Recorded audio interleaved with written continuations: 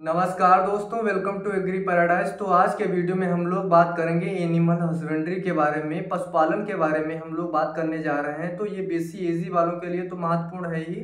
साथ में जो लोग एमएससी एंट्रेंस एग्ज़ाम की तैयारी कर रहे हैं या बीएससी एंट्रेंस एग्ज़ाम की तैयारी, आप यूपी कैटेड या किसी भी एंट्रेंस एग्ज़ाम की तैयारी कर रहे हो तो साथ ही साथ इसमें जो इंपॉर्टेंट क्वेश्चन बनते हैं, उनका भी मैं डिस्कस करता हुआ चलता हूँ। तो पिछले लेक्चर में हम लोगों ने कुछ चीज़ें यहाँ तक पढ़ ली थी, ठीक है? क्या पढ़ लिया था? टेक्सोनॉमिक अरेंजमेंट पढ़ लिया था, बहुत अच्छे से पढ़ा था। इसमें मैंने बताया था कि जो इसका किंगडम होता है एनिमेलिया होता है, हम लोगों का भी यही एनिमेलिया है, और जो फाइलम होता है, वो कार्डेटा होता है, ठीक है? सब फाइलम क्या है? वर्टिब्रेटा और क्लास क्या है? ममेलिया मनुष्य और जानवरों का ममेलिया है। ममेलिया क्लास में आने के लिए कौन कौन से करेक्टर मनुष्य या जानवर में होने चाहिए, तभी वो रखा जाएगा। इसके बारे में मैंने बहुत डिटेल में अच्छी तरीके से वीडियो में बताया है। तो प्लीज़ उस वीडियो को देखिएगा, तभी ये वीडियो आपको समझ में आएगा। इस क्लास में मैंने ममेलिया तो हम लोग पढ़ेंगे, यही हमारे लिए सबसे ज़्यादा इंपॉर्टेंट है। उसके साथ में हम लोग जब अगला हमारा लेक्चर आएगा तो हम वहाँ पे पक्षियों के बारे में जो एप्स होते हैं, पक्षी होते हैं, जो उड़ने वाले, हकीकत में जो उड़ लेते हैं, उनके बारे में हम लोग बात करेंगे, ठीक है? इसके सब क्लास की बात करें तो यूथेरिया है और सुपर ऑर्डर क्या है? अंगुलाटा। यही अंगुलाटा जो सुपर ऑर्डर है, इसी में ऑर्डर पढ़ने हैं हम लोगों को। जैसा कि मैंने बताया था कि ऑर्डर के सुपर ऑर्डर भी होंगे ऑर्डर होंगे सब ऑर्डर होंगे, ठीक है? तो ऐसे ही ये सुपर ऑर्डर क्या है? अंगुल आटा है। इसी में हमको दो ऑर्डर पढ़ने हैं। कौन कौन से ऑर्डर पढ़ने हैं? एक ऑर्डर ये, दो ऑर्डर पढ़ने हैं।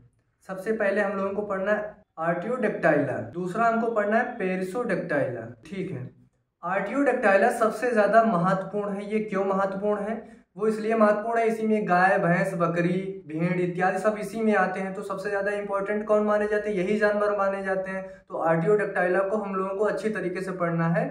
पेरिसोडक्टाइला में जैसा कि मैंने बताया था कि जो इक्वडी फैमिली के होते हैं, घोड़ा, गधा होता है वो आते हैं। तो सबसे पहले क्यों ना ये सबसे छोटा भी है पेरिसोडक्टाइला इसी से हम लोग स्टार्ट कर लेते हैं, ठीक है? तो अगर आपसे कभी भी कोई पूछता है गधे या डंकी का जो फैमिली होती है वो क्या होती है तो आप बताएँगे इक्वडी फैमिली होती है। जीनस क्या होता है? इक्वस होता है। ठीक है, अगर स्पेसीज की बात की जाए, ठीक है तो कैबलस किसकी होती है? घोड़े की स्पीसीज होती है। घोड़े की क्या हो जाएगी? कैबलस हो जाएगी। एसिनस डोंकी की हो जाएगी। ठीक है, कभी भी अगर आपसे कोई पूछ लेता है, और जैसा कि पिछले वीडियो में मैंने बताया था कि जीनस और स्पीसीज मिलकर ही साइंटिफिक नेम बनाते हैं, ठीक है।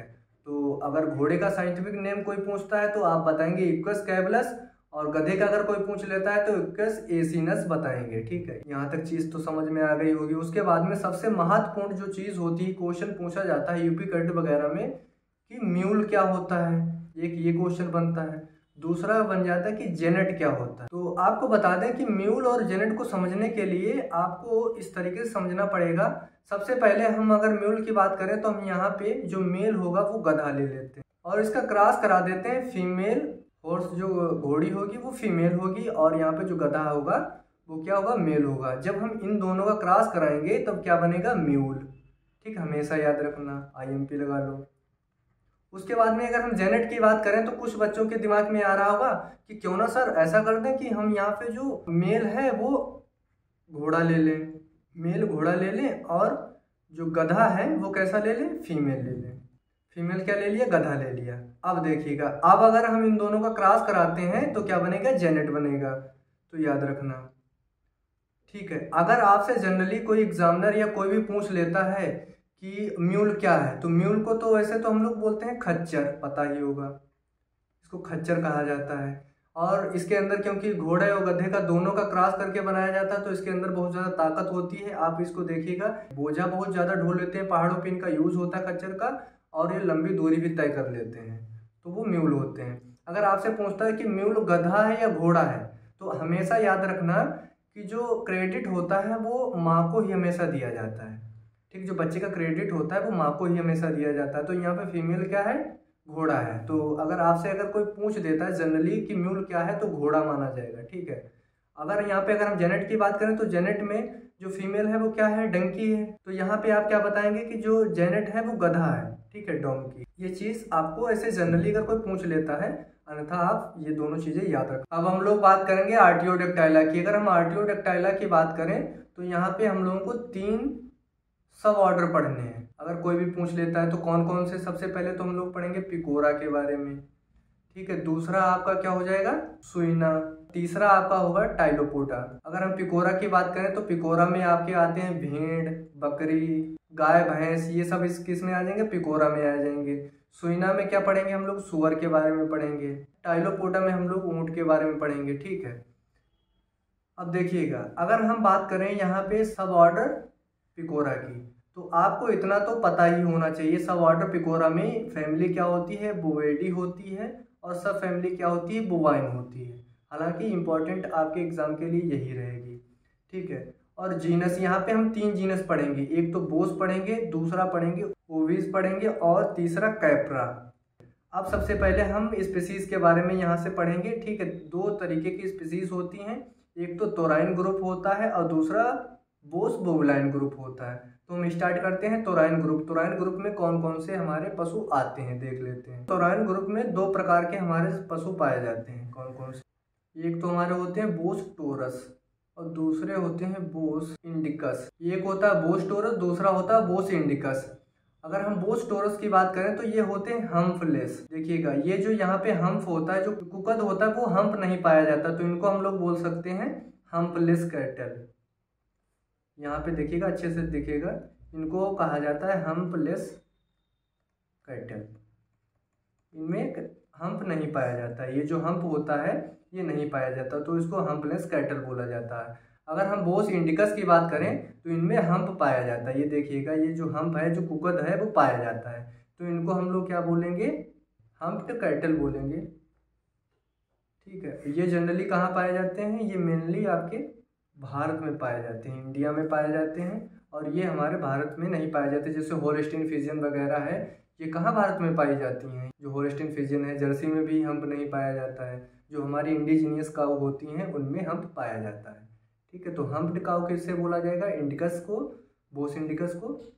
ये आपका हो गया है तोराइन ग्रुप ये आपका हो गया है तोराइन ग्रुप तोराइन ग्रुप में बोस टोरस जिसमें कुकुत नहीं पाया जाता है, और दूसरा बोस इंडिकस आती है, जिसमें कुकुत पाया जाता है। ठीक, अब हम लोग देखेंगे बोस बुबलाइन ग्रुप क्योंकि तोराइन ग्रुप तो हम लोगों ने देख लिया है बुबलाइन ग्रुप को देख लेते हैं। बुबलाइन में सबसे पहले यहाँ पे थोड़ी सी स्पेलिंग गलत है, सही करने में बुबेलिस बुबेलिस ये किसका साइंटिफिक नेम होता है? आपकी भैंस का होता है वफैलो का होता है तो याद रखना, ठीक है। अगर हम इनकी बात करें तो इनको बाटर वफैलो कहा जाता है। अच्छा कभी सोचा है कि इनको वाटर बफेलो क्यों कहा जाता है? यहाँ पे लिखते हैं, अच्छी तरीके से समझ में आएगा। वाटर बफेलो क्यों कहा जाता है? क्योंकि भैंस के शरीर पे कभी भी आप लोगों ने पसीना निकलते हुए नहीं देखा होगा, जैसे कि हम लोगों के शरीर पे निकलता है। जो भैंसें होती हैं, वो अपनी बॉडी को कैसे मेंटेन रखेंगी? उनका जो टेम्परेचर होता है, वो कैसे मेंटेन रखेंगी? थर्मो रेगुलेशन कैसे करेंगी? तो इसलिए आप लोगों ने देखा होगा, वो अक्सर जैसे ही उनको कहीं पे कीचड़ दिख जाता है या पानी दिख जाता है, तालाब वालाब या नदी नहर में, कहीं भी वो तुरंत घुस जाती हैं, उसके अंदर लौटने लगती है। जो टेम्परेचर होता है, वो मेंटेन रहे। तो इसीलिए जो वाटर बफेलो होती हैं, उनको कहा जाता है किसको? बुबैलिस बुबैलिस को।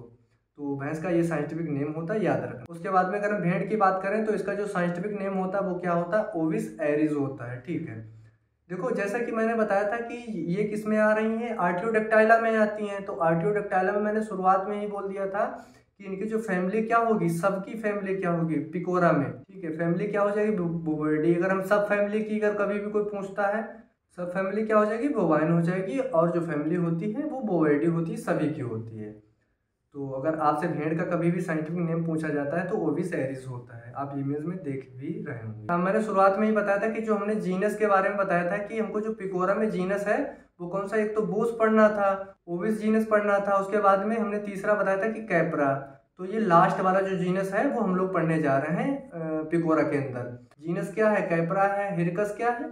स्पेसीज है। ठीक है। तो आपसे कभी भी पूछी जाती है कि जो बकरी होती है उसका आप नाम बताइए साइंटिफिक तो कैपरा हिरकस बताएँगे, ठीक है? आशा करता हूँ चीज़ आपको समझ में आ गई होगी। उसके बाद में आगे देखते हैं। आगे सब ऑर्डर क्या आया है? आगे सब ऑर्डर आया है सुइना। अगर हम सुइना की बात करें तो इनको बोला जाता है ट्रोपिक। ये सच्चे वाले क्या है? सुअर हैं। इनको ट्रोपिक बोला जाता है। ठीक है। इनकी अगर हम फैमिली की बात करें तो स्वेडी इनकी फैमिली होती है, सब फैमिली क्या होती है? सुनी होती है। जैसे कि मैंने उसमें पिकोरा में बताया था कि उसकी पिकोरा के अंदर मैंने जैसे फैमिली बताई थी बोवेटी और सब फैमिली क्या बताई थी, बोवाइन बताई थी। ऐसे ही सुइना के अंदर फैमिली सुइडी होगी और सब फैमिली सुइनी होगी। इसका जो जीनस होता है, वो क्या होता है? सुस होता है। या इसको सस भी कुछ लोग बोलते हैं, सुस या सस, जो भी आपका प्रोनाउंसिएशन हो, ठीक है? स्पेसीज की बात करें तो आपको पता ही जीनस और स्पेसीज मिलकर ही क्या बनाते हैं साइंटिफिक नेम बनाते हैं। और एक बात जान लीजिए, जो बोटनिकल नेम होता है, वो सिर्फ़ पौधों में किया जाता है प्लांट में कहा जाता है। साइंटिफिक नेम चाहे पौधा हो या आपके जानवर हो, किसी का भी, सबका क्या बोला जाता है साइंटिफिक नेम ठीक है? सुस डोमेस्टिकस तो हम लोग, जैसे कि डोमेस्टिकस पालतू वाला है, ये पालतू सुअर है। अगर आपसे कभी भी पूछा जाता है कि सुअर का साइंटिफिक नेम क्या होता है, सुस डोमेस्टिकस होता है, ठीक है? इन्हीं को ट्रू पीक कहा जाता है। अब हम लोग नेक्स्ट बात करेंगे सब ऑर्डर टाइलोपोटा इससे पहले हम लोग पिकोरा के बारे में पढ़ चुके हैं, ठीक है? सोइना के बारे में पढ़ चुके हैं। सोइना के बाद में लास्ट वाला हमारा टाइलोपोटा होता है, ठीक है? अब हम लोग पढ़ेंगे टाइलोपोटा के बारे में, जिसमें ऊँट आता है। अगर हम इसकी फैमिली की बात करें तो कैमेलिडी इसकी फैमिली होती है इसका जीनस क्या होता है? कैमलस होता है। और जीनस स्पेसीज मिलकर ही क्या साइंटिफिक नेम बनाती हैं? तो इसकी जो स्पेसीज है वो डोरोमेडेरियस है। तो इसका साइंटिफिक नेम क्या हो जाएगा? कैमलस डोरोमेडेरियस ठीक है? हैं जिनके अंदर एक ही हम्प पाया जाता है। ये जो आपको दिख रहा है, ये जो हम्प होता है, इसमें एक ही पाया जाता है। ठीक है? तो इनको बोला जाता है सिंगल हम्प कैमल और इसी को बोला जाता है इंडियन कैमल भी। क्योंकि ये हमारे इंडिया में पाए जाते हैं तो इनको इंडियन कैमल भी बोलते हैं, ठीक है? ये बात याद रखना।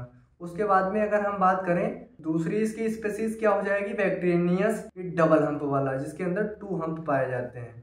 आप ये देख पा रहे होंगे इमेज में, इसके अंदर दो हम्प पाए जाते हैं तो इसको बोला जाता है टू हम्प कैमल तो इसका, अगर आपसे कभी भी कोई पूछता है कि जो इंडियन कैमल है, उसका साइंटिफिक नेम क्या है? तो कैमल से डोरोमेडेरियस है। और जो आपका विदेशी, ये विदेशों में अक्सर पाए जाते हैं इंडिया में पाए नहीं जाते हैं तो इनको बोलते हैं कैमलस बैक्टेरिनियस तो आशा करता हूँ चीज़ें आप लोगों को समझ में आई होंगी। अगर किसी भी प्रकार का किसी को डाउट होता तो कमेंट करके ज़रूर बताना। Thank you for watching